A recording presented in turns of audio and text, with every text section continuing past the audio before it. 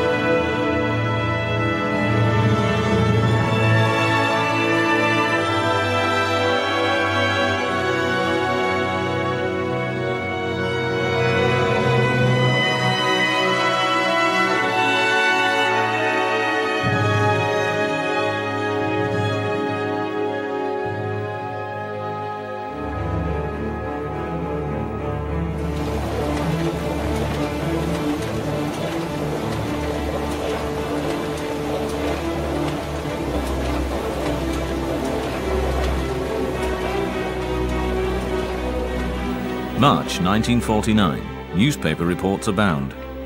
A little town in Westphalia suddenly becomes the center of public attention. There is talk about an alleged miracle healer. More and more people gather in front of the home of the Hülsmann family on the Wilhelmsplatz in Herford. They want to see a certain Gröning, who is supposed to have healed a severely ill boy. Many come out of curiosity, but most are hoping for help and healing through a man completely unknown until that time. They are all taken by surprise by this phenomenon. But many years before, he had already predicted that these events would occur. Dann erzählte mir in einer Nacht plötzlich, Then one evening, he suddenly told me everything he would eventually do that thousands of people would come to him, that he would heal, that scientists would come. And then I started to have my doubts and said, All right, that's enough, that's going too far. And then he said that I would be with him, that he would need me. That was even worse. bei ihm sein, er bräuchte mich. Mhm. Das noch schöner. Und eines Tages war er verschwunden. Er war weg. And then one day he just disappeared. He was gone, and his wife was completely at a loss. He simply wasn't there anymore. Er war nicht mehr da. Und ich komme in dieses Flüchtlingsbüro. Then I went into this refugee office, a cigarette shop, and the shopkeeper said, Have you seen the magazine yet? The new one? I don't know if it was Quick or Revue. I don't remember what they were back then. He said, Here, take a look at the title page The Miracle Doctor of Herford. That was the first report about the Hülsmann matter in Herford. war die erste Reportage über die Hülsmann-Sache in Herford. Und ich komme nach Hause. And I go home, and there is a letter there saying that he needs me and that I should come.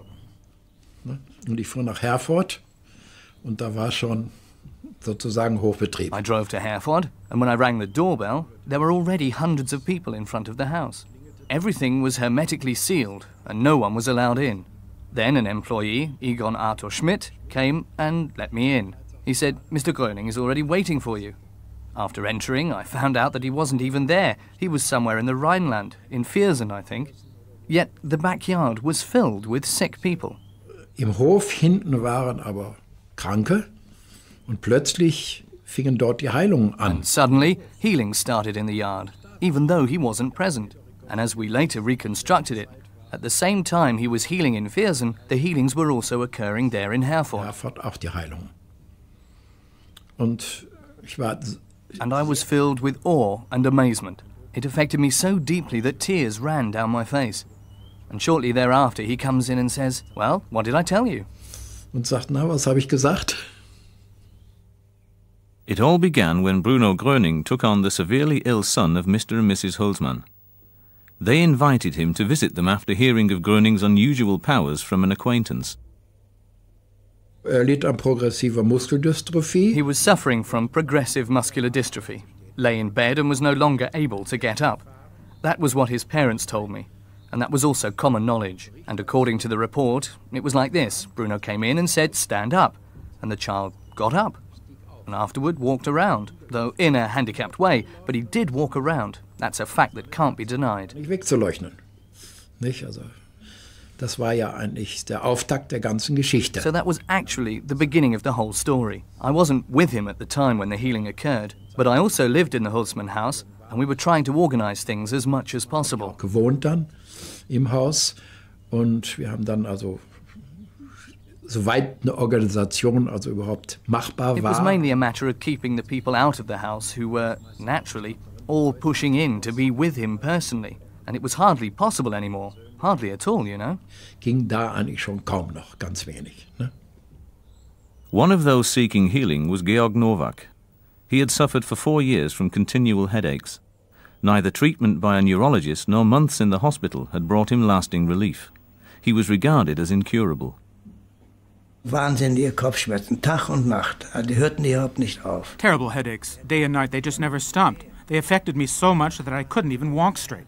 And then my colleague said to me, Boy, that Gröning is here, a sort of miracle healer.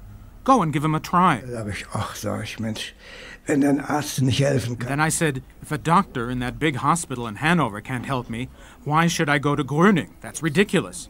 I'm not going to go. Oh, but there are thousands of people. It's swarming with people. The place is overflowing. Just go. You don't have to be embarrassed. Just go. Alles ist voll. Geh doch mal hin, du brauchst dich doch nicht genieren, geh doch mal hin. Keiner sprach mit den anderen, alles war stumm. They didn't speak to one another. Everything was silent and still. No one said anything. And we waited for Mr. Gröning to appear on the balcony. Meanwhile, there was always the clock on the church nearby. The bells rang, and so we always knew how late it was. Dann immer, wie spät wir hatten. Und am Abend erschien ein Mann, And in the evening, a man appeared on the balcony, but it wasn't Mr. Gröning. It was someone else. And he told us we had to be patient and that we had to wait for Bruno Gröning. He isn't here. He's with the severely ill. You've got to be patient, but he's definitely coming. Kommt ganz bestimmt. Und keiner sagte wieder was. And everyone was silent again, and the man went away, and we waited and waited, and we waited three days and three nights.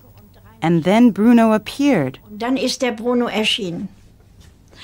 Und als er auf den Balkon kam, And then when he came out onto the balcony, there was, it's hard to describe, a restlessness. He's here. The excitement of it. und dann hat er gesagt, ihr Hilfesuchenden, And then he said, You seekers of help, you seekers of healing, you the lame, get up. You can walk. You don't have to sit in a wheelchair. You can walk. But no one stood up. And perhaps they were all still doubting. I don't know, but no one stood up. aber es stand keiner auf. Dann hat er nochmal Then he said again, spreading his arms, Stand up, you lame. You can walk. und dann sind sie aufgestanden. And then they stood up. I was stunned when I saw that, and wasn't the only one with tears in my eyes. Andere Wenn Sie dann gesehen haben, When you've seen people stand up like that, when Gröning spoke to them, or when he just stood there, or when he said, Stand up now, and the people stood up, or when people with crutches threw them away and walked without them, then you can't look at such a person as a charlatan anymore. Charlatan betrachten. More and more people report of extraordinary healings associated with Bruno Gröning. Even people diagnosed as incurable by physicians swear by his wondrous powers. It is clear to see that Gröning only speaks to the sick people, which makes the whole thing even stranger. A reporter from the South German Sunday Post reports, It's beyond my comprehension. Bruno Gröning heals the lame, the blind, the dumb, one of the greatest phenomena of this century. That's the unanimous opinion of many experts about the Gröning case. War junges Mädchen, 18 Jahre alt. I was a young girl, 18 years old, and I always had back pain. Actually, I'd had back pain since I was a little girl, and it got worse because I had a profession where I had to stand up. eben einen stehenden Beruf ausgeübt habe. Und I heard about Bruno Gröning, and I thought to myself, go and see for yourself. jetzt überzeugst du dich mal selbst. Und plötzlich geht ein Raunen durchs. And suddenly there was a murmuring among the people there, and they said, He's coming. Gröning is coming. I say, But we can't see anyone. Yes, yes, he's there, over there, way to the back. He was about a hundred meters away. Also 100 Meter Fendel ab. Und hab da gestanden und hab gedacht, I stood there and thought, all right, Bruno Gröning, if you're such a great healer, then help me. I want to get rid of my back pain. And I thought of nothing else. Schmerzen loswerden. Und nichts anderes gedacht. Und er hörte ich ihn von Weitem sprechen. Then I heard him speaking from afar, but I didn't understand the words. I couldn't hear them. But inside me, something was going on. I noticed that at that moment I thought, he can indeed help you. Da, in dem Moment dachte ich, er kann wohl doch helfen. Wie ein Strom. It was like a current. I noticed it down to my little toe. It ran through my body like a current. Plötzlich ging es im Kopf los. Suddenly in my head it was like when a stocking snags and a stitch runs down. That's how it was in my spine. Two runs down into my legs, and then my arms and fingers. And after that, I was relieved and said to myself, Man, you feel so good now. Mensch, damit du fühlst dich so wohl. Und bin dann nach einer guten halben Stunde weggefahren, zurück wieder nach Bad And then after a good half hour, I rode my bicycle back to Bad Oeynhausen, which is a good 12 miles away, and then further on to my home, which is quite a way more, and my back pain was gone. Und meine Rückenschmerzen waren weg. Da bin ich losgelaufen und habe Bocksprünge gemacht. Then I started walking and jumped for joy, as they used to say. And I repeated, I'm healed, I'm healed, you know? And it was all gone. And I sang and I said, Man, it's so great.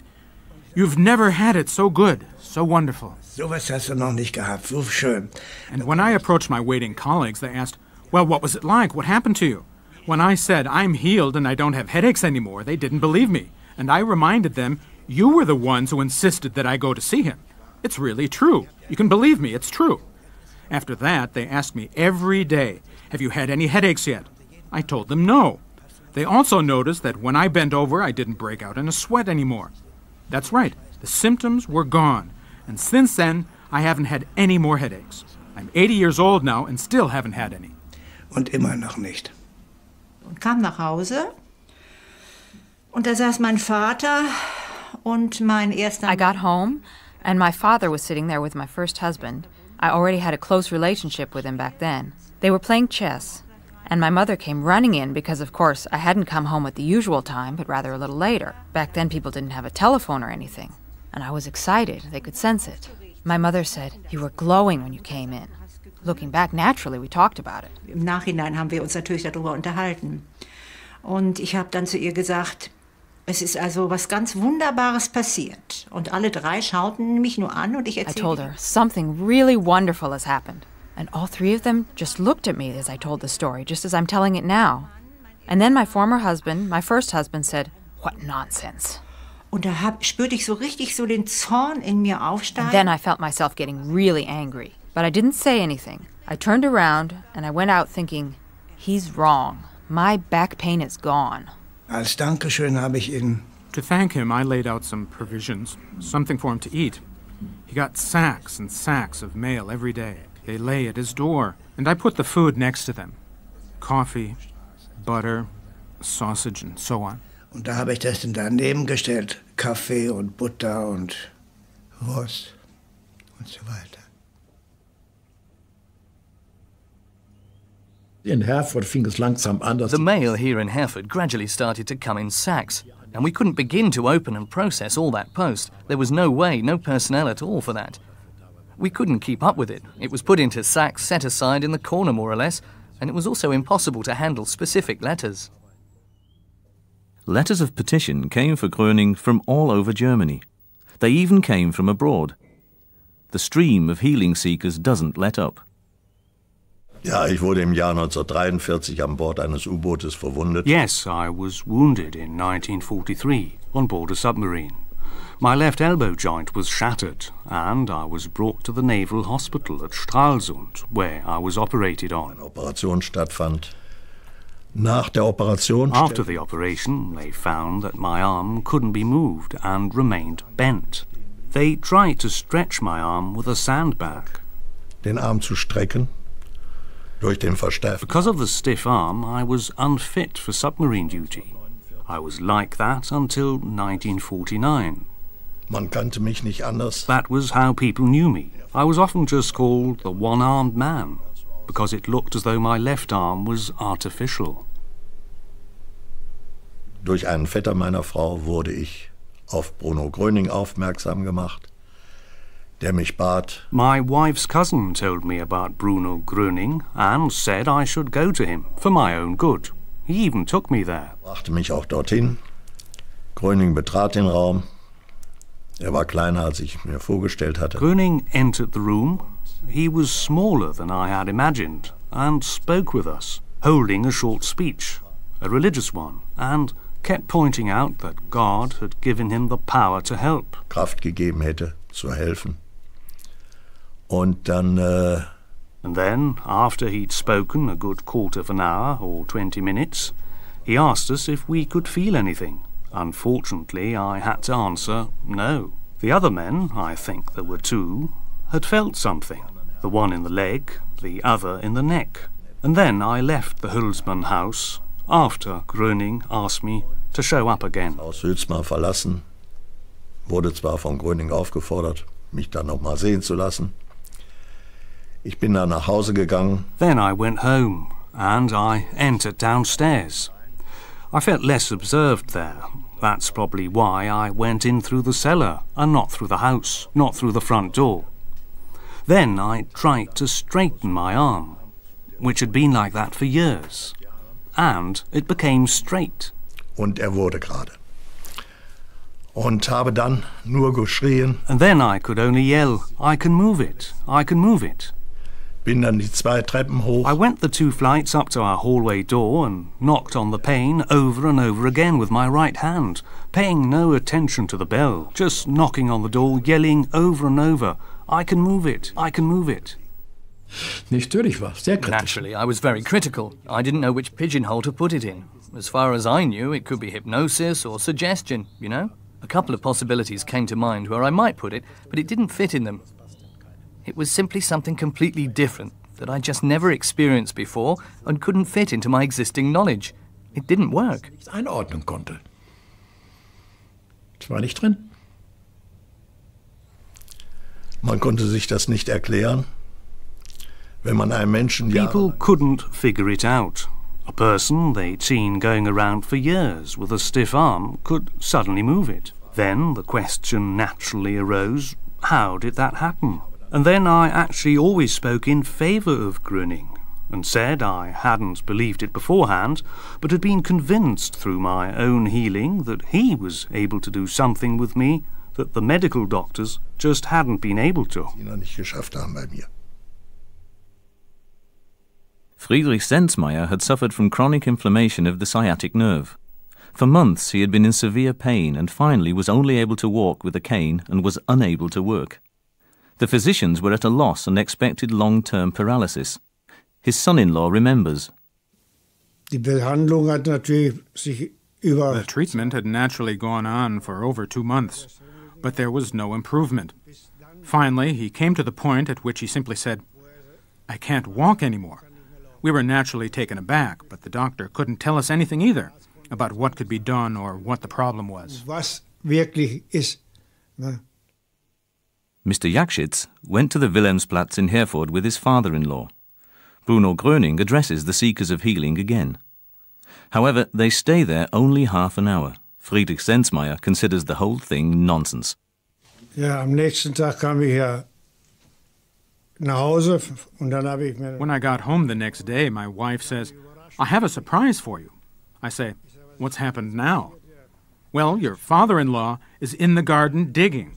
I say, Say, do you have a screw loose? I didn't really mean it. But yesterday, he was deathly ill. I'm telling you, go on and look for yourself. Ich musste, also einfach glauben wollte ich es nicht. Und er war tatsächlich am Graben. I couldn't believe it. He really was digging. I say, What are you doing? You'll get worse. No, he says. As you can see, I'm digging and have no pain. I say, Grandpa, you're pretending, or do you somehow imagine? When I tell you I also don't have my cane. Well, where is it? In the kitchen. How did you get out here? Well, he says, like this, out to the garden and got my spade and started to dig. Was ich jetzt unbedingt wissen wollte, war. Er- what I then absolutely had to know was would it continue? And after about three months, there was still nothing, nothing at all. And he then went back to work. And I thought, that's impossible. The rush to Bruno Gröning continues to grow. Some see in him a new messiah, others consider him a charlatan. The medical profession, above all, proves to be more than skeptical about the Gröning phenomenon. Mein Vater ist oder war Arzt und äh, uh, naja. My father is or was a physician. And, well, there were many doctors' sons among my friends in the neighborhood, and we had some intense discussions at my house about the charlatan. Of course, with traditional medicine versus miracle healer, there was bound to be trouble.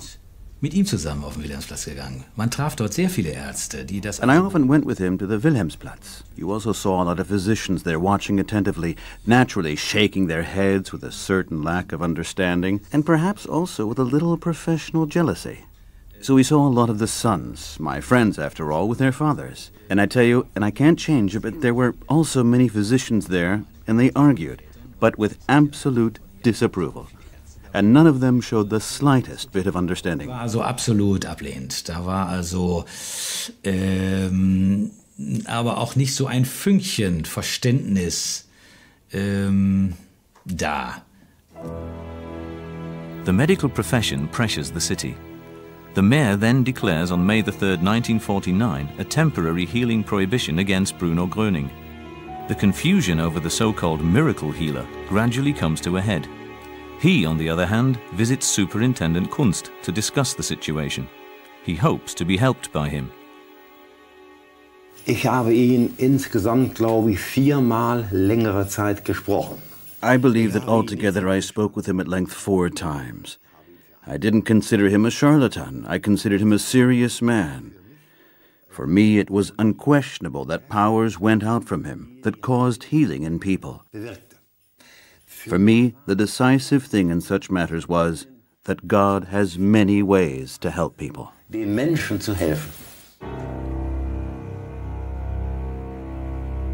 On May the 13th, 1949, there is a conference of the Herford City Administration with a medical examination and control commission that was called together to advise on the Gröning case. Present are the Chief City Director Meister, Superintendent Kunst, and high-ranking physicians. Das Gespräch war nicht vor einer betonten Freundlichkeit. The conversation was not particularly friendly. Naturally, the gentleman arrived with a high degree of mistrust. We then separated, and the city acted in a way it felt to be correct. handeln zu müssen. The fundamental prohibition on healing against Bruno Gröning is maintained. During these days, seekers of healing storm the Herford City Hall. He himself follows the call of other people in the surrounding towns. Als Kind habe ich Beschwerden gehabt mit dem Herzen. As a child, I suffered from heart problems. They were so bad that I would have to sit up in bed night after night. Gesessen habe im Bett. Meine Mutter hat äh, dann öfters auch mal einen Arzt nachts gehabt. My mother would often call a doctor at night because I was in danger of suffocating. And the physician, Dr. Kamsmeyer from Hiddenhausen, had diagnosed a heart valve defect from which I would have to suffer my entire life. Er hat dann also eine Diagnose gestellt, also das ist, ist ein Herzklappenfehler. Und äh, dass ich also da mein Leben, Leben lang drunter leiden müsste. Ich durfte also auch zu der Therefore, at the time, I wasn't allowed to do any sports in school. I was always there on the sidelines when it came to sports. My health was so bad that I thought I wouldn't last much longer. bot sich dann die Gelegenheit. Es war also so schlimm, dass ich also das, ähm, dass ich also gedacht habe, es, es dauert nicht mehr lange. Nicht? Und dann bot sich dann die Gelegenheit bei Bruno Gröning Then the opportunity came with Bruno Gröning, and so I went into this house where he was in the lower Wiesen Street, and then I, I cried. I still remember it exactly, and said, Mr. Gröning, can you help me too? I've got heart trouble. Ich hab's mit dem Herzen und so. Und dann sagte er, ja, Er. And then he said, Yes, my son. And he put his hand there on my chest and on my head and said, Yes, my son, you can go now. You are healthy now. Da bin ich rausgegangen, hab geweint. Meine Mutter Then I went out and cried. My mother was standing out there. I said, Mother, I don't have any heart trouble anymore. Then I cried, and it was really over with. I could sleep. I was in my 14th year, and from that day on, I've been healthy, and I'll be 60 next year. Ja, werde ich 60. Ja, das ist also, ich habe. I also played sports again. For example, at school back then, we played kickball. And then I played sports again. There was nothing, there was nothing more. There were no more health problems. The healing has lasted. It has simply lasted until today. Es hat angehalten. Es hat einfach angehalten bis heute. Also meine Mutter hatte Lungenembolie und mit ihrer My mother had a pulmonary embolism and always had difficulties with her bowel movements. And now she had lain for six or seven weeks without a bowel movement, no excretion. ausscheiden. Es war folgendes, dass äh, die Ärzte It was as follows. The doctors had given her an enema, etc., but nothing had moved. So the bowels were dead. One can say they had gone numb. My mother was so swollen, she had developed such a belly. You can imagine when nothing had come out for seven weeks. vorstellen, wenn das, das sieben Wochen gar nichts rausgekommen war. Und so hat sie die Ärzte So the doctors gave up. They couldn't help anymore. Jetzt, wie Herr Gröning da nun Then, when Mr. Gröning was with us, he said to me, Bring me a glass of water. Ja, und ich an der Pumpe habe Wasser geholt. So I fetched some water at the pump. So, Mrs. Graffarend, take one or two swallows now. And my mother drank. So, he said, Do you know what you have just drunk? Your new blood, which is now running through your veins. Bruno Gröning often emphasizes that a person's blood is contaminated. He, on the other hand, is able to transform it through the power of God and thus enable healing. Und wie ich anderen Tag nach Hause kam, war der war von der Arbeit zu Hause geblieben. And when I came home the next day, my father had stayed home from work, and then he started talking. I have never experienced such a thing in all my life, he said. I've got about seven basins full of what mother got rid of, and everything came out. Everything was cleansed. Gereinigt. Und dann sagte mein Vater, Herr Gröning, was And then my father said, Mr. Gröning, what do I owe you? Nothing at all, he said. It's just that the medical profession is in turmoil and is against me, and can't understand that the sick are being healed where traditional medicine fails. dass die Kranken geheilt werden und die Schulmedizin äh, versagt darauf.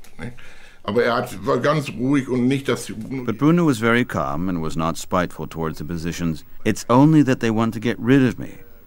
And if you would write a documentary report, and father wrote four pages the next day. er hat Vater an einem Tag vier Seiten geschrieben.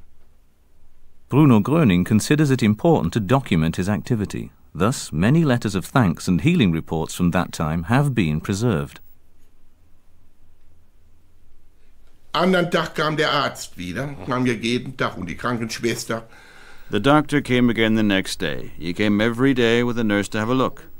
The doctor made a place on the bed and sat down. Setzte sich hin. Frau Graf Arendt hat sich die Mrs. Graf Arendt, I have never before seen an illness disappear so suddenly. And that was the gist of what he said. Laut in etwa. Ja, und so waren wir überglücklich. And so we were overjoyed. And my mother Hat noch 20 Jahre, lived in good health for another 20 years, for which we are all grateful. wo wir alle dankbar waren.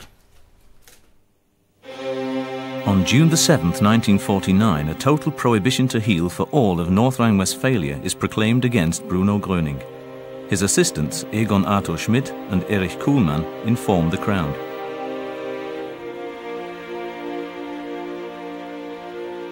The situation becomes worse and worse for Gröning. All his efforts to be allowed to speak to the healing seekers are thwarted.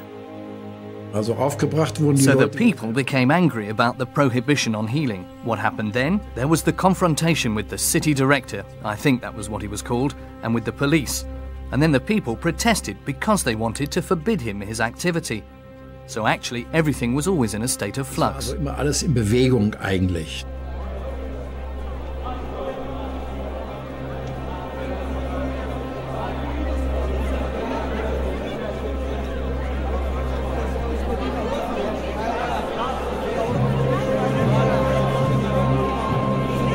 Egon Arthur Schmidt, who documents these events in Herford in his book The Miracle Healings of Bruno Gröning, writes of the dramatic development in those days.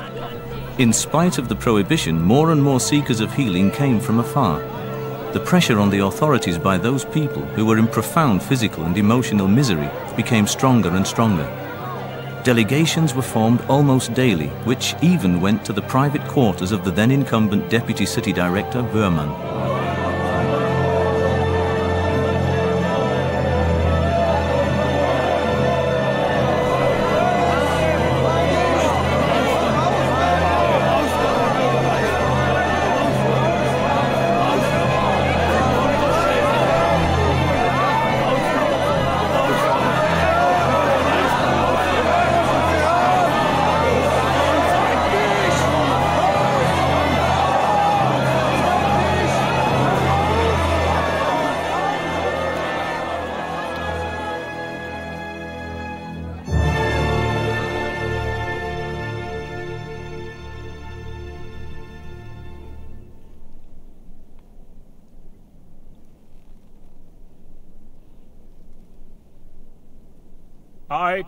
Gröning permission to heal, effective for this evening.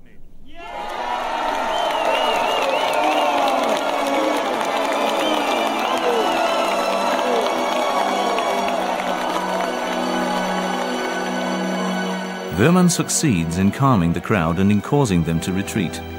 However, the hope and joy of the help seekers is short lived. The prohibition is effective again the very next day.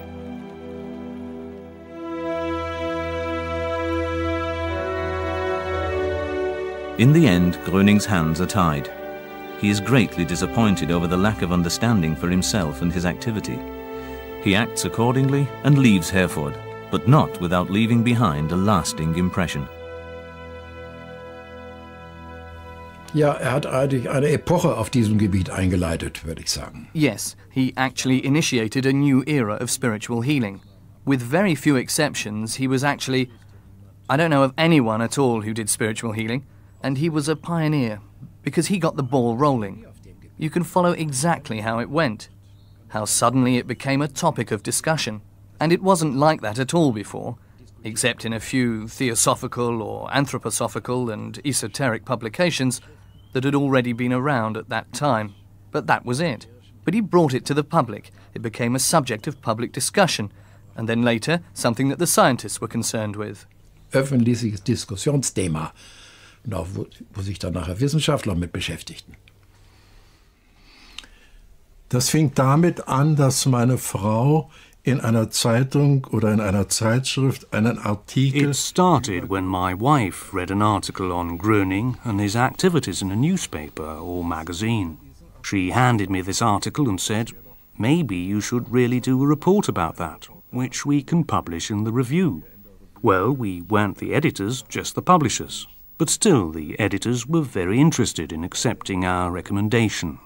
War die Redaktion sehr interessiert daran, unseren Vorschlag zu akzeptieren. They made the initial contact with Gröning. The Revue correspondents Heinz Bongartz and Helmut Laux are to take over the journalistic side of the matter. The Revue decides to contribute to the scientific clarification of the Gröning phenomenon. Research on the healing method of the miracle doctor is to be conducted at the Ludolf Krehl Clinic in Heidelberg under the patronage of Professor Dr. Weizsäcker.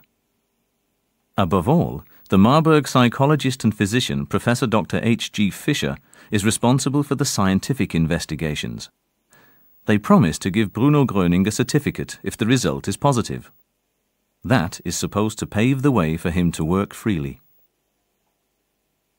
Es sollte ja hier getestet werden, kann er heilen oder Here they were going to test whether he could heal or not. That was the purpose. It was supposed to be an absolutely clinical test to prove his ability to heal. That was the purpose. And he agreed to that and said, Yes, I'll do it. Und wir kamen And we went to a villa in Heidelberg in a kind of closed test. That is, he wasn't allowed to carry out healing anywhere else, but only with patients brought to him by the university clinic. die ihm von der Universitätsklinik zugeführt wurden. First of all, the fundamentals of the Gröning phenomenon are investigated. Above all, the focal point is the scientific examination. However, Mr. Kindler is very quickly impressed by Bruno Gröning. Nun ja, ich glaube, der Dünkel einer Gruppe von Ärzten, die erstens aufgrund ihrer akademischen I believe that they were simply an arrogant group of physicians who thought that they knew everything in the area of human illness, based upon their academic and scholarly education. And they were naturally stunned that here was a man to whom people literally rushed without his doing anything, and that there weren't five patients, nor twenty, nor fifty, nor a hundred, but rather thousands of patients who flocked to this man. sondern Tausende von Patienten auf diesen Mann einströmten. Das ist ja That's hard for a doctor to understand. It really is hard to understand, and for them especially. And he had no training as a healing practitioner. He had none at all. He wasn't stupid. He was intelligent. He was no intellectual, but he was intelligent and not stupid, and could express himself clearly and intelligibly. und verständlich ausdrücken. Und äh, wie gesagt, war auch bemüht. And, as I said, he took the trouble to speak to people. But he was no chatterbox, on the other hand. My God, I don't want to imply that. No, not at all. That wouldn't be in line with his humility. No, no, no. So, I think that the doctors just thought, well, all that's simply unbelievable. After all, we should be able to do it better than him. And so we'll shut him up in the adjacent room and have our patients come, and then he can come to them. Then we'll surely get to the bottom of all this. He's perhaps just a charlatan after all. Maybe it's all coincidence, perhaps only mass suggestion. Doch nur alles Massensuggestion. But I wouldn't believe that. Würde ich aber nicht glauben. From hundreds of letters of request, patients are chosen from the Ludolf Krehl Clinic. Danach wurden diese Patienten in diese Villa gebracht. After that, these patients were brought into the villa and later seated in a circle. He stood in the middle. Back then, there were huge tape recorders and everything was recorded on tape from an adjacent room. It took a great deal of technical effort. It wasn't as simple as today, and several doctors were around to take blood pressure and pulse. Dann And then Bruno Gröning began. But I can remember only one case. It was a female patient with chronic constipation, a constipation which couldn't be helped. And during the treatment, it started, and she had to go out. Nun ging das schon los, musste sie schon raus. The success with Elsa Jost is made public in the newspapers as an extraordinary event. The most impressive, however, was the Strobel case. He had suffered for years from Bechterew's disease, which had led to a total stiffening of his spine. In addition, he was plagued by severe pain while walking and climbing stairs.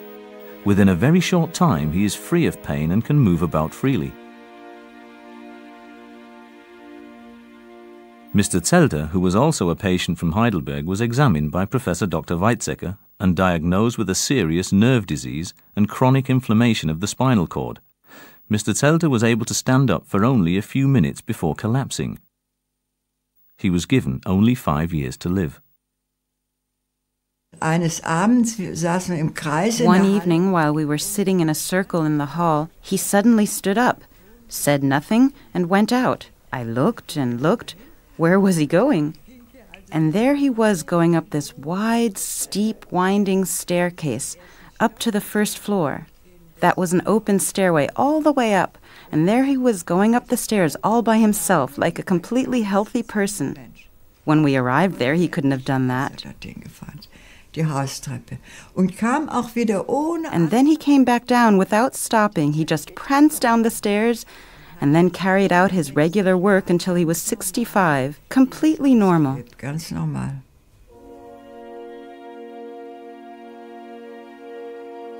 The doctors appeared impressed. In the Revue, Professor Dr. Fischer comments very favorably in a preliminary opinion on the results of the Heidelberg investigations. He attributes Gröning's obvious successes to a natural talent. However, he attempts to explain everything from a psychological point of view, although the healing of the Bechterew's disease in the Strobel case, for example, can hardly be placed in this category. He says Bruno Gröning is not a charlatan, nor a hypnotist, nor a miracle doctor. He is rather a talented non medical psychotherapist.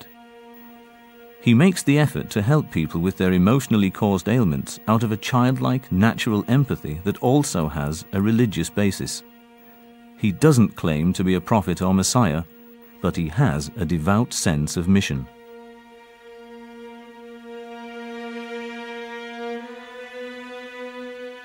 Professor Dr. Fischer then makes Gröning an offer that he does not, however, accept. Gröning wants to remain true to himself and his path and doesn't want to be restricted. He later writes in retrospect about this Sanatoriums were supposed to be put at my disposal in which physicians too would be working. This was so that all cases could be checked in the greatest detail, so that further confirmation would be available not only for the public, but also for the medical profession. Professor Fischer, however, demanded from me a monthly salary of 3,000 marks, plus high daily expenses. And in addition, I was supposed to obligate myself to hand over to Professor Fischer 30% of all the beds. This was because, as he explained to me later, he would be able to register 30% of all those healed as healed by him. That is, be able to clock up 30% of all those healed under his name and as being due to the effect of psychotherapy. I wasn't able to declare myself in agreement with this suggestion of Professor Fischer and rejected it because I, one, didn't have a single cent with which I would have been able to fulfill my financial obligations toward him, and two, had never considered making a business out of the whole project.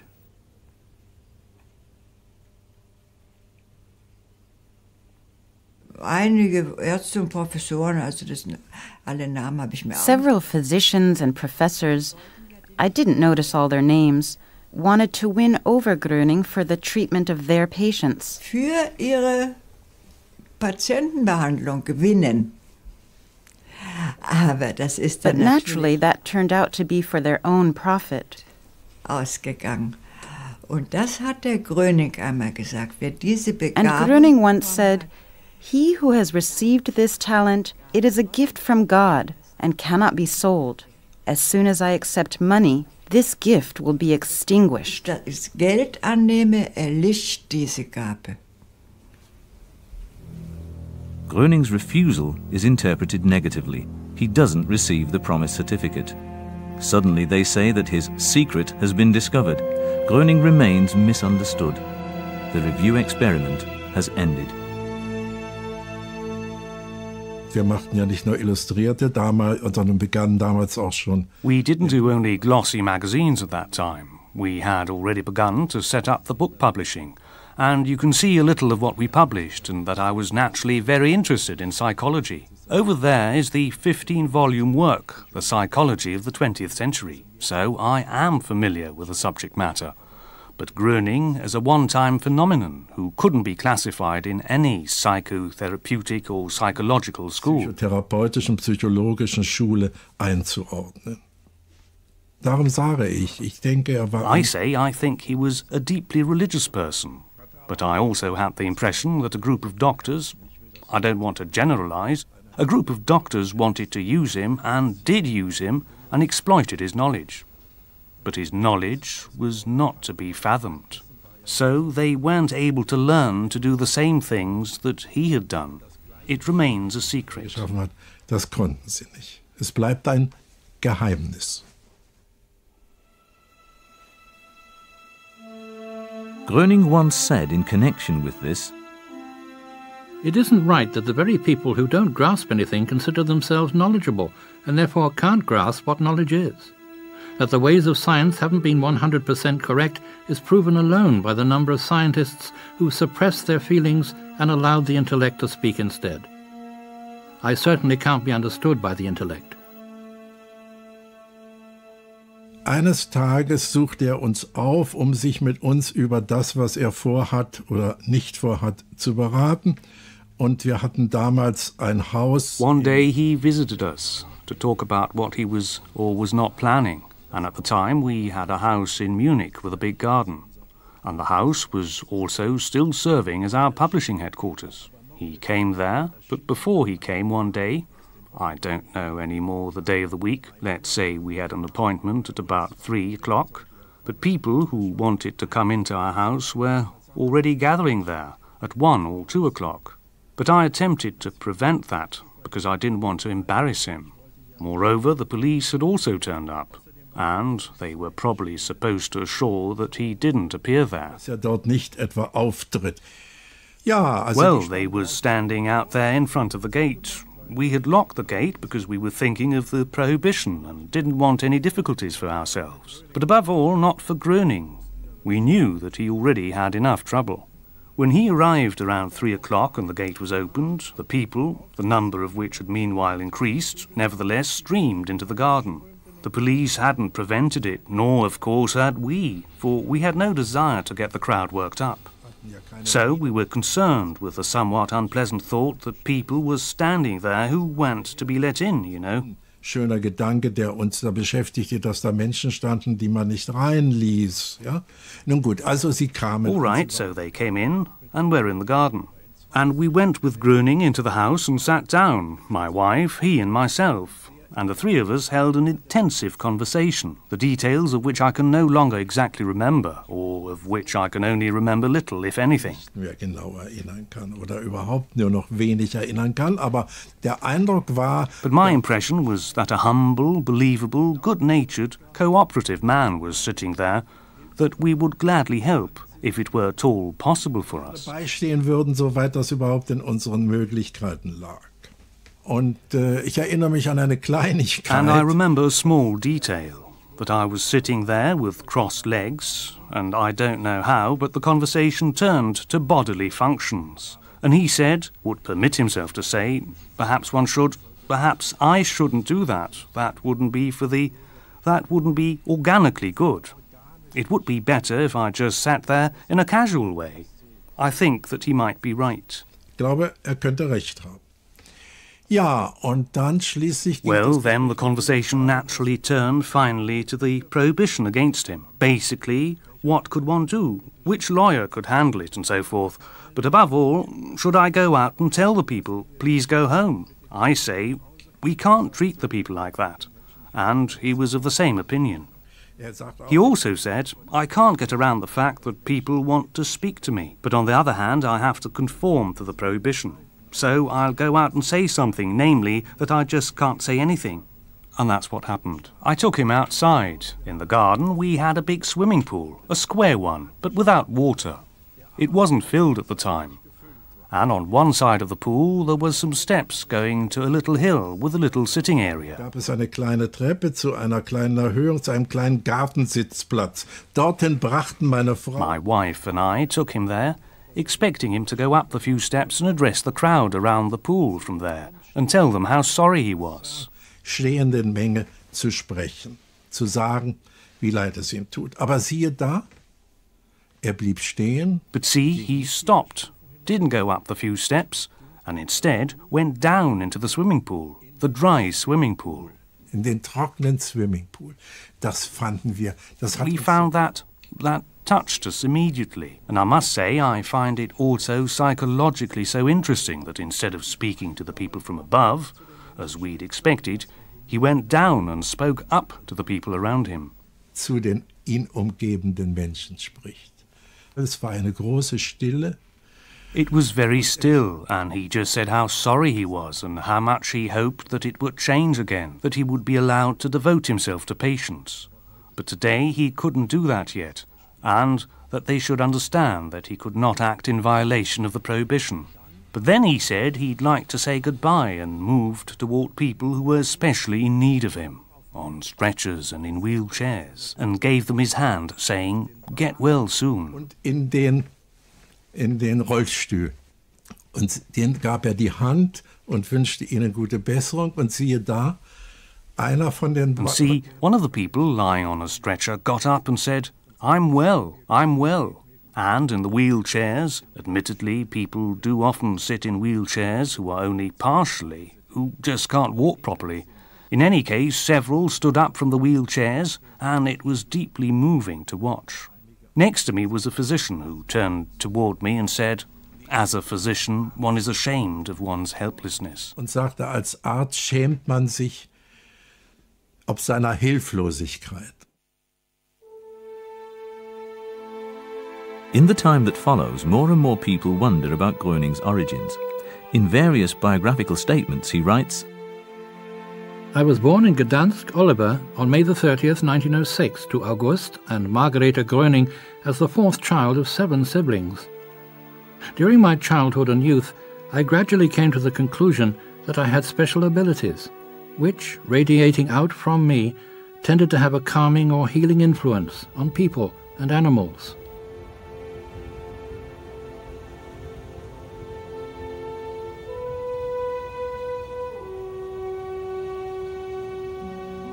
My relationship with the family was strange and tense. However, my imprisonment in the family house didn't last long because I early and very often freed myself from it.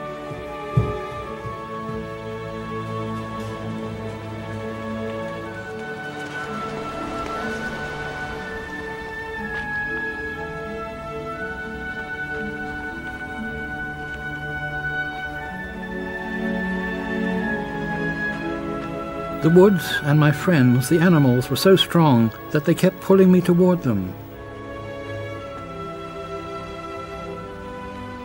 There I experienced God in every shrub and every tree, in every animal, even in the rocks. After a short time there, I'd feel secure, for there I wasn't so alone.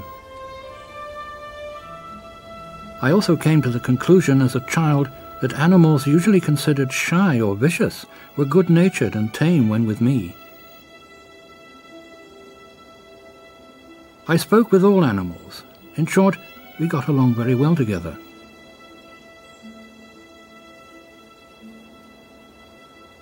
Wherever I was, I could stop and contemplate, and it always seemed to me as if my entire inner life broadened into an eternity.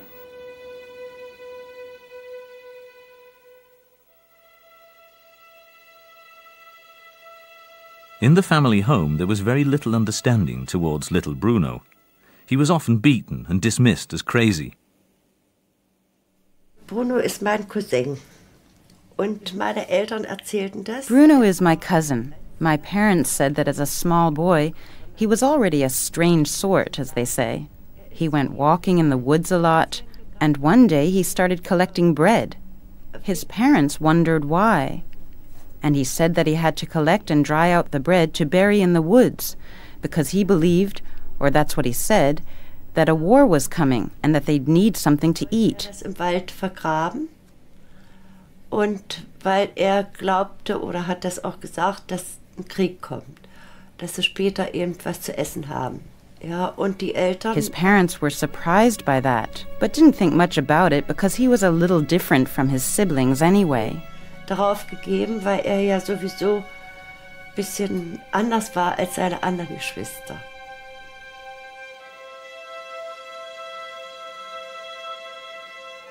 In an affidavit in the year 1949, August Gröning said of his son Bruno, he was even able to predict certain events, such as the beginning and end of the First World War. He also predicted the death of his mother, as well as the beginning of the Second World War in 1939. He saw and predicted it all. He also had a characteristic that enabled him to heal people from illness and relieve suffering.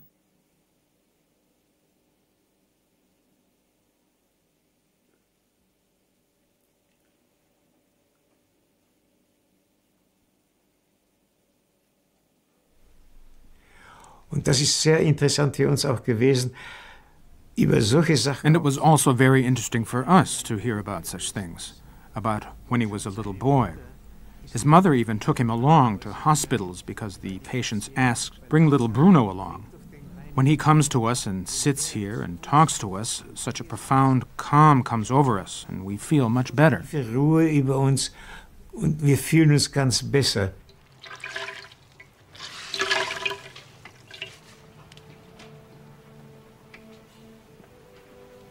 Mother, can you still hear me?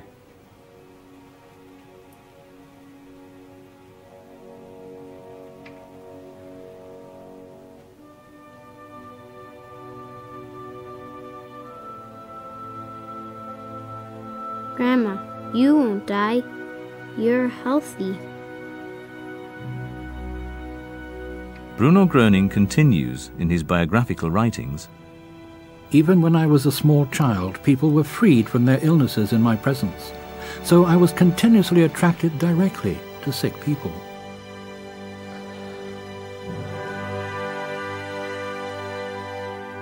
I attended public school. After discharge from there, I started a commercial apprenticeship. I was there two and a half years. I had to give up that training at the request of my father because it was my father's wish for me to learn a building trade. I followed the wish of my father and learned carpentry. However, I didn't graduate with examination because at that time in Gdansk there was high unemployment. For this reason, I had to give up my training three months before graduation because the firm where I trained had to close due to insufficient orders.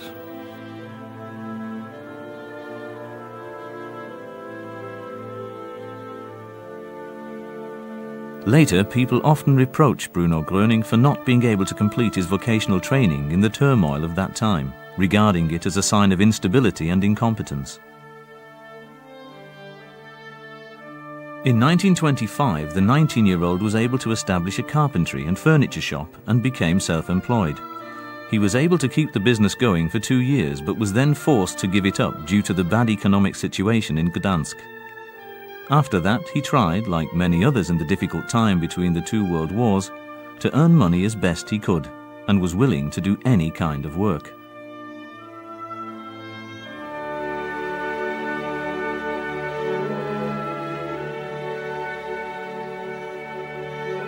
I carried out all those jobs with interest, and I especially wanted to undergo an apprenticeship in which I could study the knowledge and know-how of people in all situations and on all social levels, and learn how they structured their lives. I sought not only the poorest of the poor, but also the richest of the rich to learn how they lived. Max Brun, an early friend of Gröning, remembers It was in 1931 when I urgently needed living space for my family. The search led us to the house in Gdansk Langfuhr, 77 Ring Street, number 2. We were taken in and were given one of the rooms in the two-room flat where Bruno Gröning lived. Even back then, Bruno Gröning never thought of himself. His supreme commandment was to help his fellow man and give them new strength. To him, it didn't matter whether the person was seeking health or needed some other help. Even then, he was often called to go to sick people. But he would never take a penny for it, regardless of what the problem was. On the contrary, he would even give these people his own last cent. But I would also like to especially emphasize one thing. It concerns the things that have happened in the world in the past years, including the partition of Germany. Even the beginning and the entire course of the war have taken place precisely as Bruno Gröning predicted.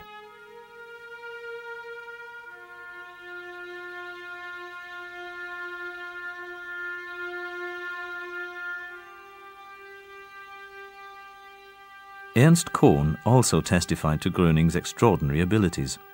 Mr. Bruno Gröning had already helped many people through the forces radiating from him, making prognoses that were always correct. I experienced Bruno Gröning's healing power during our years as neighbours in Gdansk Langfuhr. I was often freed from pain.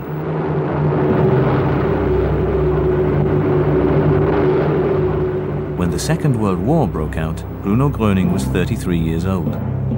He himself regarded the war as a clear sign of how far man had separated himself from God. He remembers in his biographical statements I was inducted into the army in 1943 at the age of 37. There was trouble because of my attitude. For example, a court martial was considered because I had stated, whether you send me to the front or not, I will shoot no person.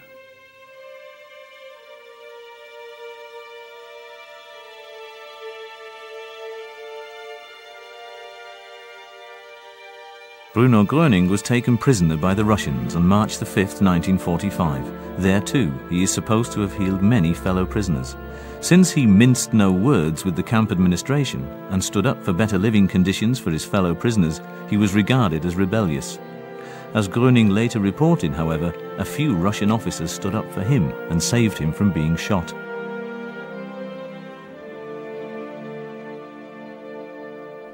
Er hat mir einmal gesagt, He once said to me, When I was a Russian prisoner of war, I made life easier for many of my comrades.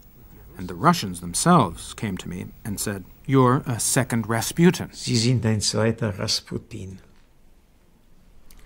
Ich habe Herrn Leis, der auch im Gefangenenlager von Bruno Gröning war. I knew Mr. Leis, who had also been in the prison camp where Bruno Gröning was, very well, and he confirmed that Bruno Gröning had even then helped many people who experienced recovery and help, and that he had been through a lot with him. Und hat vieles mit ihm erlebt.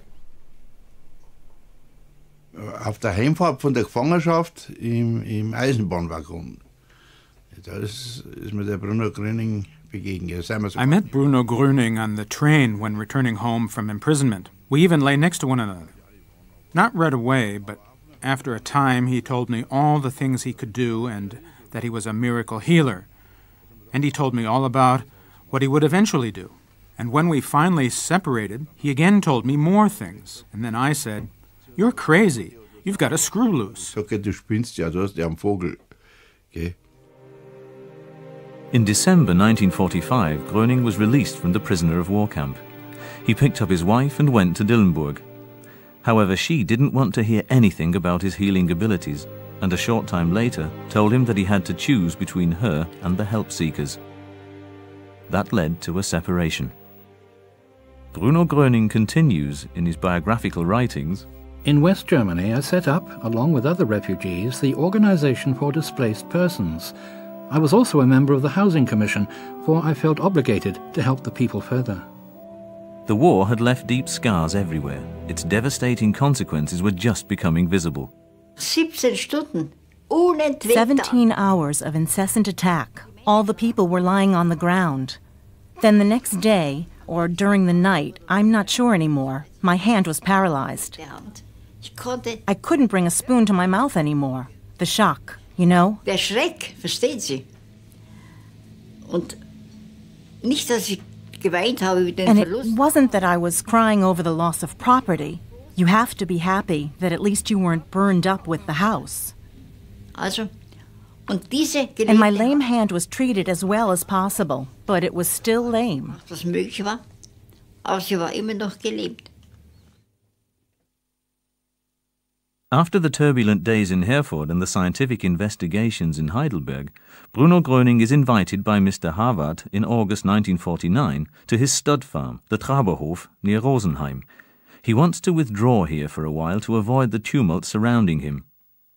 At first, he succeeds in keeping his stay a secret. However, after the first newspapers report on his arrival in Bavaria, the news spreads like wildfire. Well, it really looks very good, Mrs. Bernhardt. I think with the tablets we'll soon have it under control. But I've already been taking them so long. I realize that, Mrs. Bernhardt. Just trust me. Well, get well soon and stop by again next week. Thank you, Doctor.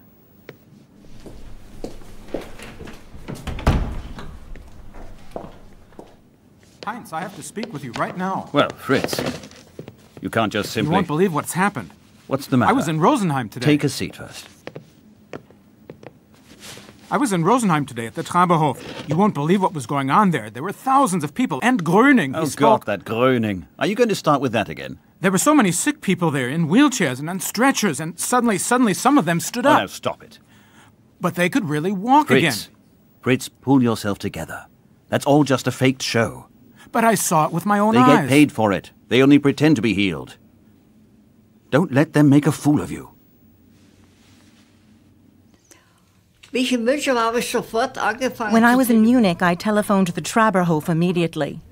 It happened that Mr. Kuhlmann came to the telephone. I told him that I was interested as a healing practitioner and student of Dr. Schmidt. Then he said, We are happy when such people come and observe us.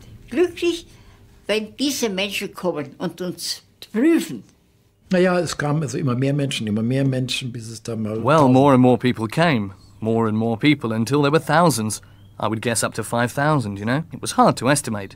And then the healings took place again, perhaps an even greater number. One always had the impression the more people, the more healings. Je mehr Menschen, je mehr Heilungen.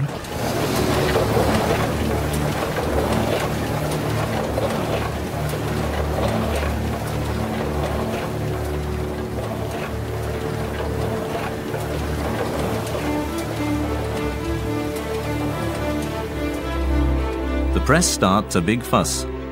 The reports are numerous.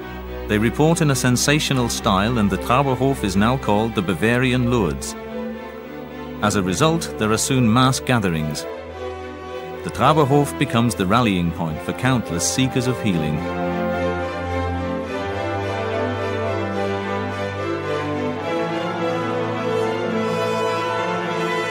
The Traberhof suddenly becomes Gröning's first healing center. Reports of sensational healings are heard everywhere. Er schau mich, schaute mich He just looked at me like this, and I showed him my hand. So, more or less. And then, I don't know, was there a table there or something? In any case, I had my hand like this, and suddenly my fingers were drumming, like drum fire, a long time. I can't do it as fast now as I did then. And at that moment, the paralysis was gone. It went away within half an hour, really. Binnen einer halben Stunde. Wirklich. We were both happy because he was always so glad when he could personally experience it so quickly. And that was really a great gift for me. Das war wirklich ein großes Geschenk für mich. None of the applications had helped. The herbal baths, medication, exercises, nothing had helped. The shock from that night of bombing had remained so deep within my joints. Yes, one can really speak of a special healing. Da kann man wirklich von einer besonderen Heilung sprechen. The Traberhof becomes a world event. On some days, up to 30,000 people gather on the grounds of the stud farm. People also travel from abroad to see Gröning. After the turmoil of wartime, the sick and suffering see hope here again and ask for help and healing. Bin ich am Traberhof raufgekommen mit dem I went on my motorcycle to the Traberhof. In Schlossberg, I picked up my aunt who also wanted to come.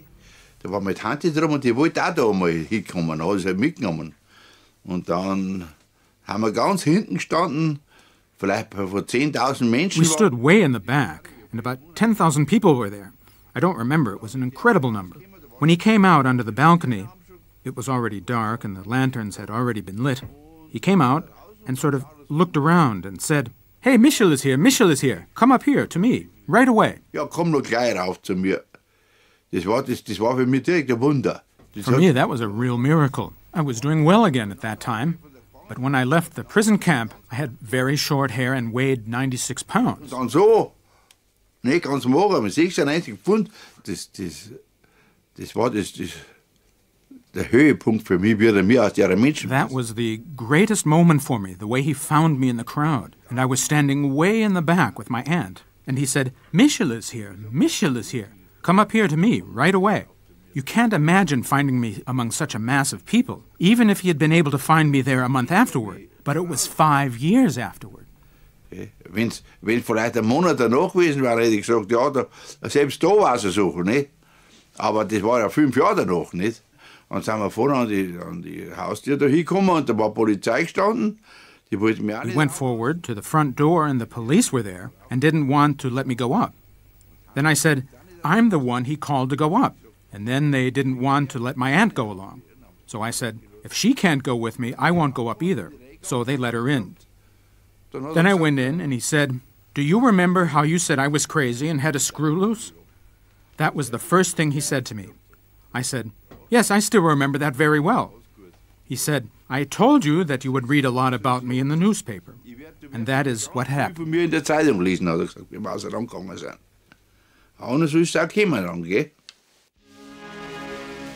Even the weekly newsreel reports on the events at the Traberhof. Today's new catchword, Bruno Grüning. The man who attracted attention with his strange healings in Herford, Westphalia, has meanwhile moved to Rosenheim in Upper Bavaria. Since then, the crowds of healing seekers and the curious have been camping day and night in front of the Traberhof, Grüning's current residence and workplace. Grüning's special powers, the revelation of his previous successes, and the faith of his followers, often causing ecstasy, have rendered the Grüning case a much discussed phenomenon. Science is taking a cautious stand above all in regard to the lasting effects of Grüning's healings. Scenes like this are the side effects of the Grüning cult often brought about by the effect of other influences. Yet, they all wait hour by hour, often day by day. People with all kinds of ailments squat in gloomy, silent rows, and only when Grüning appears does this review of misery break ranks.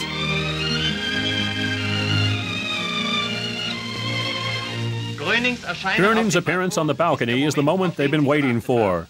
A strange, dubious phenomenon of our times. Ich wurde äh, bei der Infanterie als Hunger am 4. Juli. I was severely wounded on July 4, 1943, as a radio man in the infantry. It would be too much to list the individual wounds that I had. In any case, I was severely wounded. The most important thing was my brain injury. I was shot in the head, and the fragment was operated out in 1946. But the essential thing was that I was partially paralyzed on the left side. Der ganze Körper war voller Schmerzen. My whole body was filled with pain, and I had a terrible time walking, so all I could do was stumble along. Meanwhile, I went for treatment at the Brain Injury Center in Munich. However, the head physician, Dr. Volnia, a very good doctor, was unable to help me at the time. He tried something new every day with medication, with massage and the like, gymnastics, everything was tried. In the end, he used morphine, but that too didn't work. Morphium plötzlich lese ich dann, And then suddenly, I read one evening as I was returning from devotions, I saw a comrade of mine sitting at the window in front of me reading a tabloid newspaper with the big headline, Bruno Gröning helped me. That fascinated me so much, somehow the thought of Gröning. So I spoke to my comrade and asked him if he wouldn't accompany me the next day. und hat ihn darum gebeten, ob er mich nicht morgen begleiten würde. We went to Rosenheim. Rosenheim by train and got off. I didn't know where Gröning was, where the so called Traberhof that was written about was supposed to be. Didn't know anything. I also didn't know whether Gröning was there. Ich wusste auch nicht, ob Gröning da ist. Und wenn wir vom Bahnhof rausgehen, And on leaving the station, we saw many people with canes or crutches going in a particular direction. Then I said to my comrade, Hey, we've also got to go that way. Du, da müssen wir auch hingehen. Wir kamen zum We came to the. Traberhof, and there were already a few thousand people waiting for Gröning. No one knew whether he was there or not. Er wusste, ob da ist oder nicht. Wenn man auf dem Balkon stand, If you stood on the balcony, you could see only people. It was crawling with people. Unimaginable. So full, I tell you. It was hard to even get to the house at all. überhaupt an das Haus hinzukommen. Gröning kam zur Gröning Tür. came through the door onto the balcony and first leaned against the balcony railing, leaning with both arms spread out wide. I will never forget that picture. Für mich ist Bild nicht mehr wegzudenken. Und da hat Bruno Gröning die Menschen And then Bruno Gröning greeted the crowd, saying, Please, position yourselves so that you aren't touching one another. keiner den anderen berührt. Hat natürlich That took some time as it was very difficult because there were so many people and all so close together. We had to spread out so that no one touched anyone else. We held our hands stretched downwards and were really very still. You could have heard a pin drop despite the many people. It was really unbelievable. Aus diesen vielen Menschen da hier. Das war schon unvorstellbar. Ich hatte den Eindruck, As he stood there on the balcony, I had the impression that he was conscious of his mission. That was what gave him the strength and power.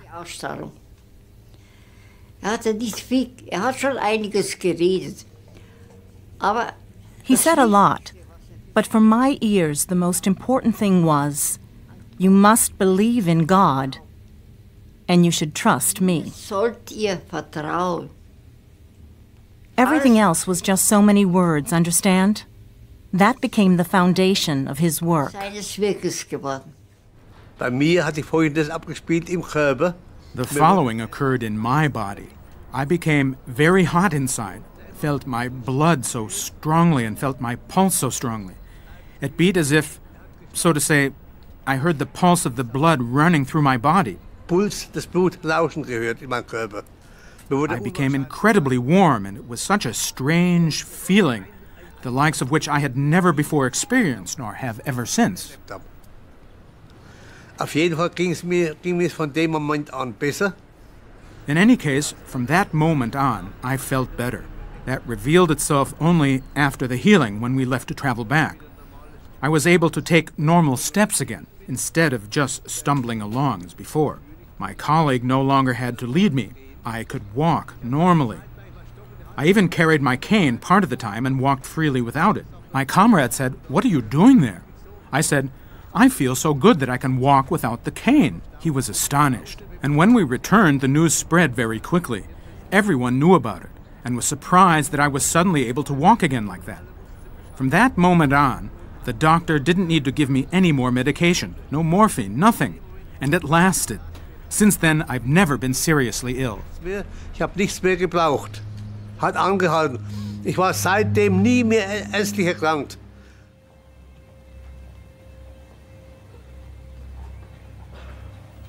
I am not here to hold big speeches, but to mediate help and healing.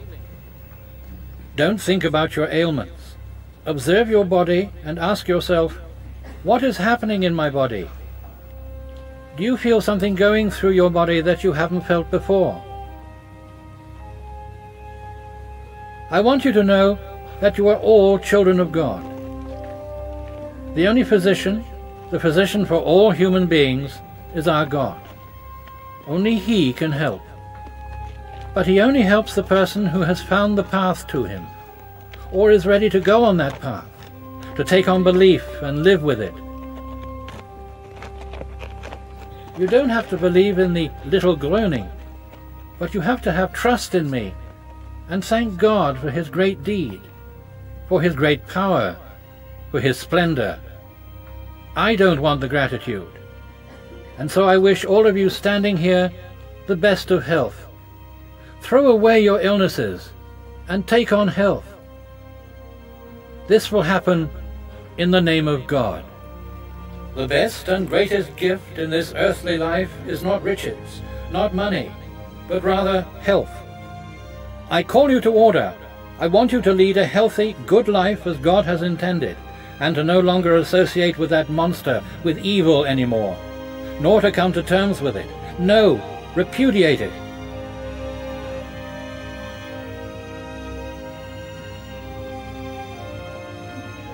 When you do all of that, only then does God begin to work in man. Order is God. Order is health. I, I, I, I can see. I can, I can, I can see. I can see again. I can see again. I can see again. I can see again. I can still remember one case. A blind man who suddenly yelled out in the crowd, I can see, I can see. Well, I brought him up to know for sure. After all, it was after dark. I said something like, How many windows are lit in that house? and so on and so forth. And he answered me. Später habe ich diesen Mann dann, weil wir Zeugen mal für einen Prozess brauchten in München, irgendwo hatte ich seine Adresse. And later I visited that man because we needed witnesses for a lawsuit in Munich. I was somehow able to get his address. It was a really primitive hut, sort of a little cottage. He was busy hanging wallpaper. Obviously, he was able to see, you know? Offensichtlich konnte er sehen, ne? Was ich gesehen habe, das waren die Rollstuhlfahrer und da ist also What I saw were the people in wheelchairs, and there were quite a number. I don't remember anymore how many who actually followed Gröning's command and got up out of the wheelchairs and push the wheelchairs themselves. That's what I saw. haben den Rollstuhl selbst geschoben. Das habe ich gesehen. Eine Ungarin, eine, ich nehme an, eine A Hungarian woman, I assume she was a gypsy, fell to her knees and with clenched fists screamed again and again, Thank you, Gröning, thank you, Gröning. Then I spoke to her and asked what she had had. So she showed me that both her hands had been paralyzed, but she was still very young, early 20s, very chic, very elegant for after the war, and then she could suddenly spread her hands out again. Jetzt auf einmal kann sie die Hände wieder auseinander machen.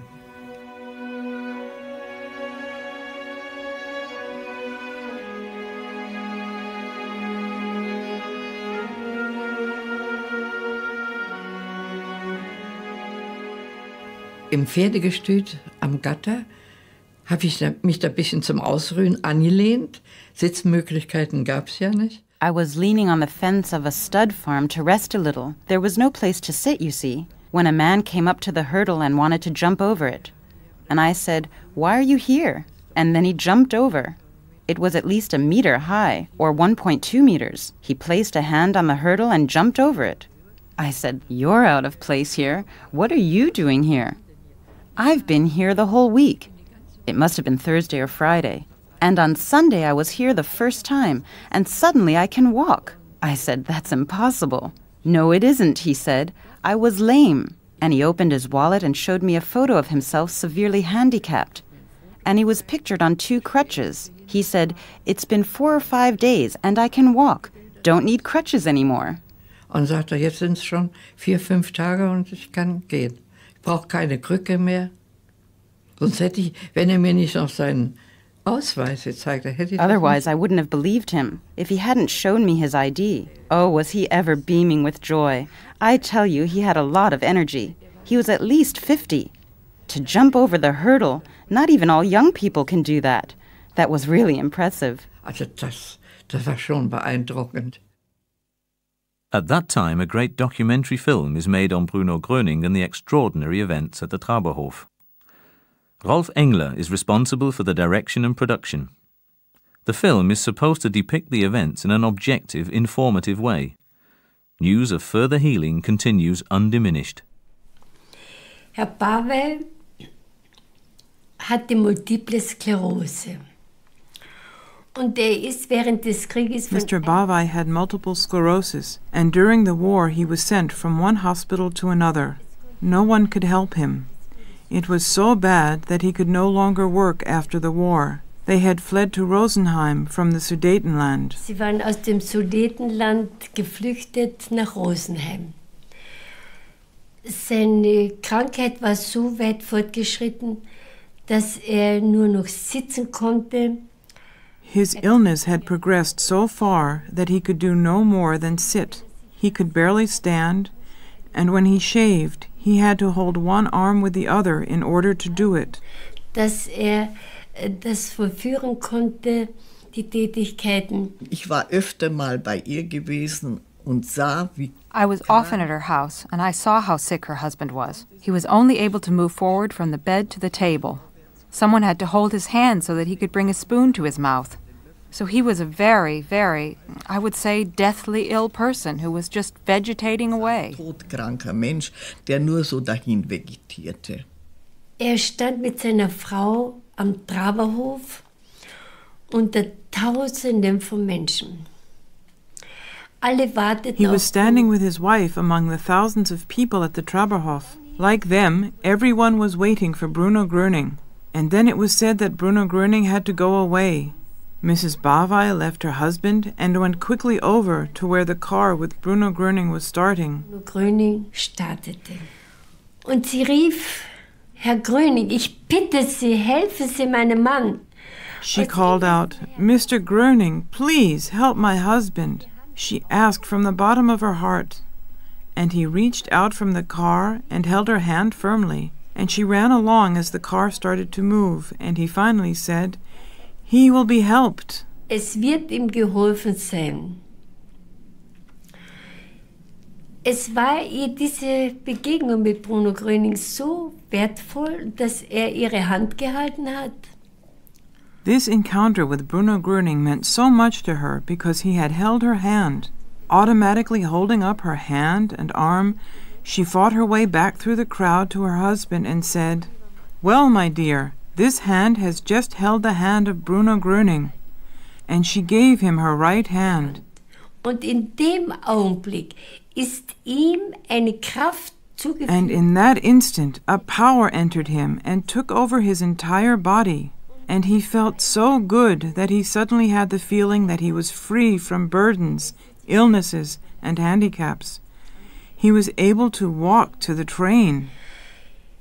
Er konnte zum Zug laufen. Mein Mann hatte mir von der Fabrik oft irgendeinen Jungen geschickt. My husband often used to send a boy from the factory to give me messages. We had no telephone. So when someone knocked at the door, I said, Just come on in, Max. And suddenly there was Mr. Bavai standing before me. I said, Have you just run up the stairs? He said, Yes, that was me. I said, But that can't be. I've been healed, and I'll have a lot of trouble. I have to go to various physicians, have to report everything. Since I'm well, they'll stop the pension that I've been getting because of the illness. I can take on a job again any time. So we were naturally all speechless. denn ich bin ja gesund. Ich kann ja ohne weiteres wieder einen Beruf ergreifen. Also wir waren natürlich alle sprachlos. Mr. Bavai's success report is also taken down in an affidavit in order to document the special events. Later, he even becomes a close associate of Gröning. His old ailments never return.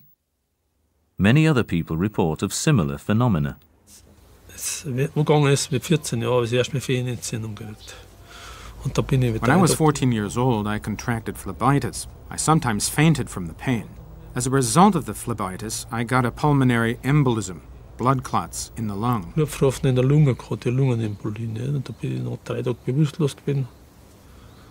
After three days, I was unconscious and the doctor gave me shots. At night, I sat in bed and couldn't get any air. Irgendwo in den Kindern, weil ich da keine Luft nicht mehr gekriegt habe. Dann, dann ist so, das so dahin und da war ich auch bei Ärzten. Und die äh, haben genau The doctors advised amputation of my leg because that's what was causing the blood congestion. That's what they recommended. I didn't want that at all. I didn't want to live anymore. With the, absolut nicht. Und ja, lieber eben nicht mehr leben. It seemed impossible that anything could help. Da noch was hilft, uh, Mr. Wanderwitz is one of the many healing seekers at the Traberhof. He stands in the midst of the crowd, hoping that perhaps he can still be helped through Bruno Gröning. So ungefähr eine Stunde, da ist mir so gut gegangen dann und ich habe mich wohlgefühlt und leicht und war der innere After about an hour, I felt so good. I felt so calm and light. The internal pressure and all the pain were gone.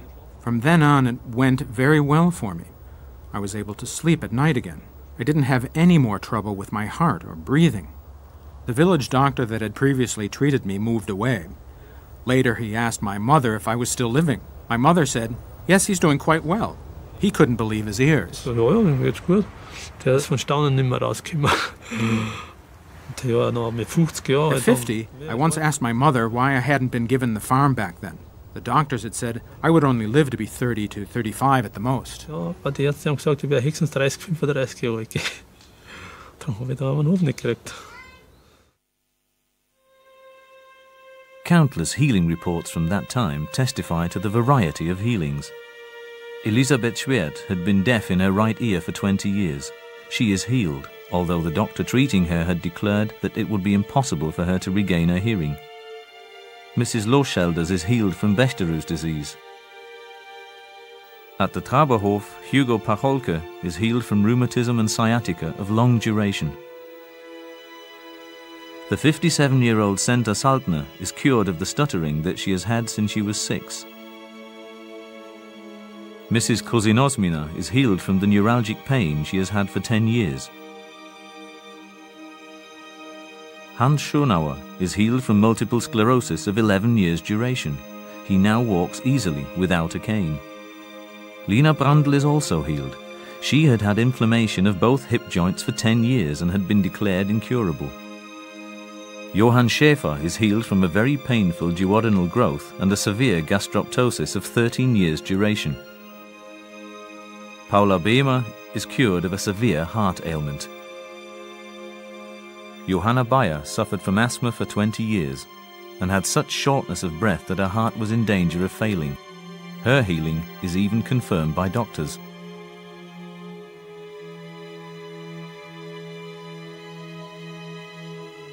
Franz Neerkorn had spinal polio for 30 years.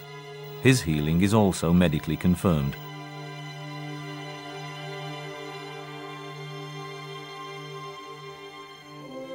On August the 31st, 1949, Bruno Gröning holds a press conference which he himself called in the gaming room of the Traberhof. He asks the journalists to report objectively and truthfully and to stop further sensational reporting. A short time later, a positive attitude of the Bavarian ministry towards the Gröning case is published in several newspapers. Prime Minister Ehard declares that one shouldn't allow the work of an extraordinary phenomenon such as Bruno Gröning to fail through legalistic nitpicking. Gröning's healing activity is regarded as a free activity of love. Meanwhile, the healings at the Traberhof continue. Im Ort da war eine Frau, die war blind. There was a blind woman in the town, a Mrs. Haberland. A person in the neighboring town was blinded in the First World War. They said I should take them along. Aber, die haben halt auch alles probiert, nicht? Jetzt, äh, dann haben sie gesagt, ich soll doch mitnehmen raufgehen.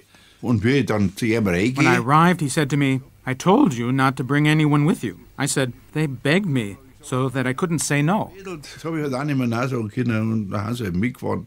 Und dann sind die im draußen im, im, im Flur, im, im Korridor da draußen, da war ein, Ding, ein. In the uh, corridor out there was an opening with a curtain, and outside there was a bench where they both sat. haben die zwei Hand da drauf gesetzt. Und dann ist er rausgegangen. He came out and he peeked through the curtain. He held the curtain around his face like this, came back in, and said to me, The woman can already see again, but the man can't see. His optic nerves were destroyed in the war. The woman can see again, but she still has to come again often. Die siehst schon wieder, hat er gesagt. Aber der Mann, der sieht nicht mehr. Der ist, das sind die Sehnerven hin. Das ist vom Krieg irgendwie, hat er gesagt, oder was. Das sind die Sehnerven kaputt. Aber die Frau, die sieht wieder, aber die müssen da öfters kommen, hat er gesagt. Na, hat haben wir der Pia. Und dann ist er reingegangen wieder in die Bude und ich bin nachher durch den Vorhang durch und zu der, I was curious too and went through the curtain to her.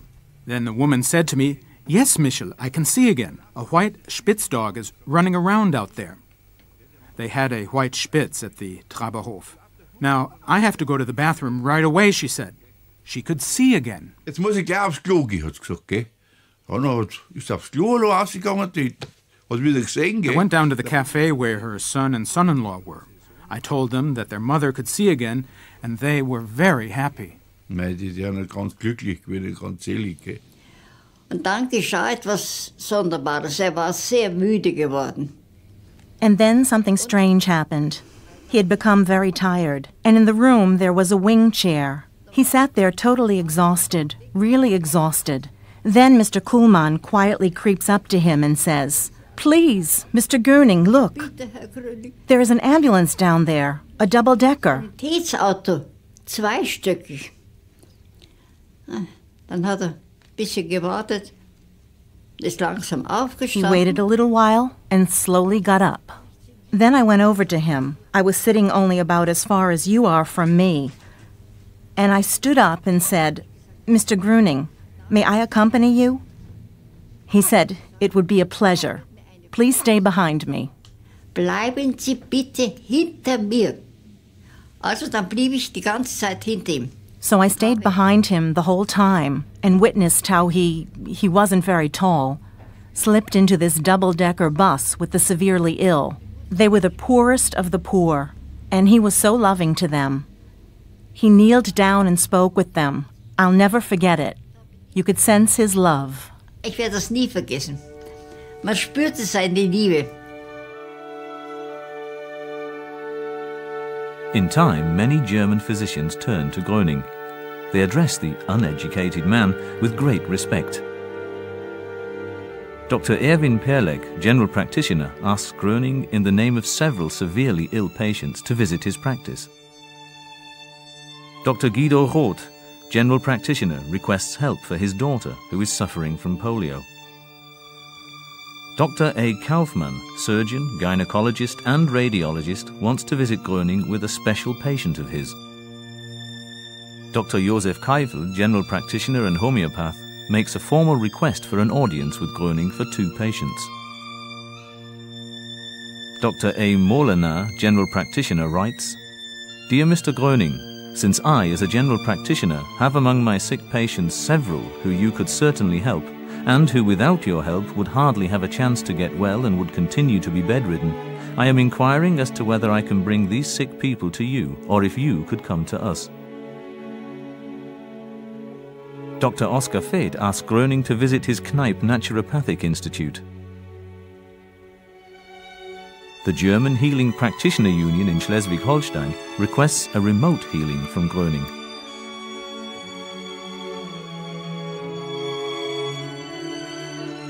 The League for Natural Healing writes Dear Mr. Gröning, we have followed closely all of the reports on your work up to now and sincerely hope that the authorities will soon come to an appropriate understanding with you too.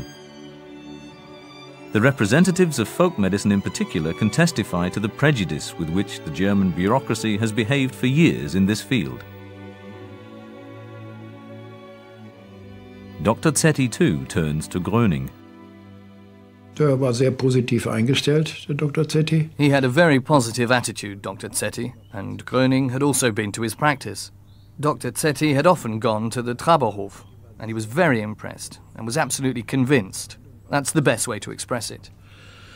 Kann ich nicht anders sagen. Dr. Zetti, a general practitioner from Munich, had already made contact with Gröning. He writes in an article The Gröning phenomenon interested me as a physician so much that I have already spent many weeks, many days, but also many nights at Gröning's side. Through personal contact and the greatest concentration, he is able to heal or at least provide relief to the sick with the most severe ailments within a short time, among them even the blind. I've witnessed it myself. Wir hatten zum Beispiel am For example, we often had, I think it was at the Traberhof, Jesuits from the Jesuit College, which still existed near Munich at that time, but no longer today. There were a lot of Jesuits there who asked him religious questions, who conversed with him about religious problems. Just think about it. They're people who are 100% educated in the subject and have tremendous knowledge, but they were incredibly interested in him. sich wahnsinnig für ihn interessiert. Und dann diese Geschichte mit dem Mönch aus And there's the Assisi. story of the monk from Assisi. He was a Franciscan, came from Rome, and he'd either been ordained as a priest or was about to be ordained. I don't remember anymore. I only know that he gave a very positive speech. I can't give any of the details, I don't remember anymore. Ansprache hält, ich kann im Einzelnen dazu nichts mehr sagen. Das weiß ich nicht mehr. Ich habe mich zwar auch mit ihm unterhalten und er war also völlig begeistert von Bruno. I also conversed with him. And he was very enthusiastic about Bruno. It was incredible for him, and he expressed himself very enthusiastically and asked Bruno for his blessing. Him, a priest. Er als Priester. Ne? The speech of the Franciscan was recorded in shorthand. He says, I am deeply moved by the words of Mr. Gröning, and I must admit that I am reminded of the words in the Scriptures By their fruits ye shall know them. The divine Saviour says that in relation to such people, and the fruit is good. The evil of mankind is very great. They persecuted Christ and they persecuted his disciples. And they have persecuted all those, even pious priests, who have healed the sick in the name of God. Therefore, have courage and faith, and do what Mr. Gröning tells you. And when physicians and scholars who are opposed to him answer that he has no degree behind him, it is laughable, for God doesn't allow himself to be told what to do. As Bruno's healing ceremonies were thus far concluded, the Catholic and Protestant priests began to sing the hymn, Great God, we praise thee, and all the people there on the field sang along. It was incredibly touching. Und die ganzen Menschen da auf dem Zeitpunkt, alles hat mitgesungen, war unwahrscheinlich ergreifend.